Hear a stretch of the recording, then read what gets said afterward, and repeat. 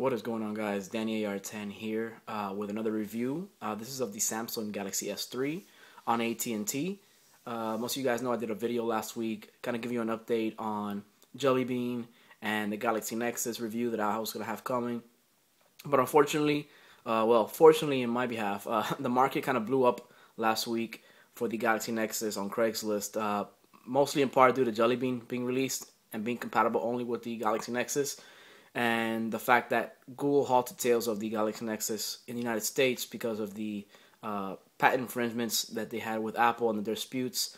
So it kind of blew up, and I was able to actually sell the phone for uh, about fifty dollars more than I actually purchased it for recently.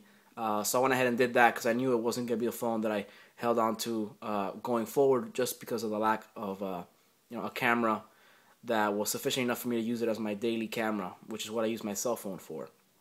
So I went ahead and sold it and picked up the Galaxy S3 from AT&T on release day. I've had a few days to play around with it, use it, test it out, and kind of compare it to the HTC One X that I you know had, and as well as the Galaxy Nexus. Uh, here it is. This is the Pebble Blue version. Uh, went ahead and put a screen protector on there already that came with the uh, OtterBox Defender case that I had purchased and returned because I wasn't really um, enjoying it. Felt that it was too bulky and the buttons were real hard to press. Uh, so there's the uh, metallic blue or pebble blue, as you want to call it. it. Does have a brushed metal kind of look to it. If you can see there, the lines. AT&T branding right there. Uh, of course, let's get into the details itself. You guys know everything that there is to know to it. Uh, it's been out for a few months already internationally. A little different than the domestic U.S. versions. Uh, the AT&T version is uh, 4.8 inch display, of course, Super AMOLED, uh, HD, 1.4 gigahertz, I believe, uh, dual core S4 Snapdragon processor, 2 gigabytes of RAM, uh, 2100 milliamp hour replaceable battery. That is, you know, you could remove it by removing that back plate. Uh, 8 megapixel rear camera, and you got a 720p, I believe, 1.3 or 1.4 megapixel front facing camera. front, there you go. You got your home button down there, menu and back buttons here. Not really feeling those too much. I was kind of used to the uh, HTC One X and the uh, Galaxy Nexus buttons, which I prefer the Galaxy Nexus buttons, which were on the screen itself, not necessarily capacitive buttons. But that's just nitpicking. Um, going into a little more detail on the phone is far as performance. Haven't really noticed it to be much faster than the HTC One X in daily use. Uh, as far as uh, raw processing power, uh, you know, it does have an extra gig of RAM compared to the HTC One X, but in your everyday use, you really won't notice much of a difference. Uh, the phone does have a bit of a plasticky feel to it in comparisons also to the One X. And you'll feel you'll hear a lot of comparisons to the One X in these in this video just because it is the uh, you know other phone that's as comparable and some may say better than the Galaxy S3. So you'll hear a lot of comparisons. Uh, but it is a uh, polycarbonate uh, finish on the One X. This is a plastic finish on the Samsung, so it does feel a little plasticky, but you know some people may enjoy that. Uh, I, on the other hand, don't really have a preference. Uh, this does make the phone feel a little lighter, uh, if not a little cheaper but you do get the trade-off of having the replaceable battery, which you do not have on the One X. For those who like to carry uh, multiple batteries around. As far as display, the One X has a 4.7. This has a 4.8 inch, like I stated earlier. Uh, I really won't go into much as far as S voice because it's not really a feature that uh, at this moment it's very usable. Uh, it is working, and it is you know supposed to be a competitor to Siri, but I don't I don't really see it uh, you know taking over. Or I see it soon being replaced by uh, Google Voice, uh, which will come out on the uh, Jelly Bean update. Uh, let's go ahead and jump into you know what you get in the box itself. Uh, I like the fact that AT&T did not change the packaging. Usually they like to change up their packaging from uh, the manufacturer boxes to their own AT&T branded boxes, which they didn't do so with the Galaxy S3. They didn't want to cheapen it. inside the receipt. I always keep all my receipts and even the screen protectors for resale. you get your smart start guide or quick start guide, whatever you want to call it. Inside, you get your basic USB cable. You get your wall charger, which is actually have quite a few of these. Uh, these Samsung branded uh, USB wall chargers. They go for about three, four bucks on Amazon. I've ordered quite a few just to have around the house.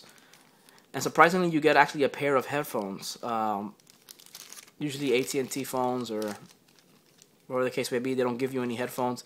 I know this is a Galaxy S3 and it's different, but the One X, I believe the international version, you would get a pair of headphones. You don't get that with the uh, Galaxy S3. Well, you didn't get that with the US version, excuse me. I'm confusing myself.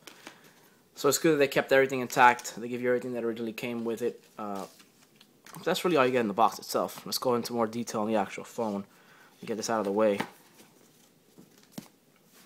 As far as camera quality, uh, there's a few uh, pet peeves that I have as far as the comparisons to the One X. Uh, the one feature that most people loved about the One X and you know really were excited about about the uh, Galaxy S3 was the shutter speed or the shutter button uh, on the camera, which basically lets you take a rapid succession of shots and let you save the best one. Uh, on the One X, it's accomplished by just holding down this camera button down here, and you can, I believe you could take up to, I think it's 50 shots, and then choose the best one. On the Galaxy S3, it's a little different, and you can't actually hold the button down and take a rapid succession of shots. You actually have to go into the menu here on the side, click this button, and you actually have to switch to burst shot mode. And then once you press it,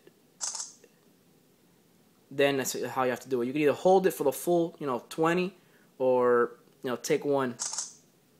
So, I mean, it doesn't really make a big difference, but I don't like the fact that you have to switch back and forth between uh, shutter mode. I wish you can just hold the button down um, and just do it like that, like they do on the One X. Small pet peeve, but some people may not enjoy that.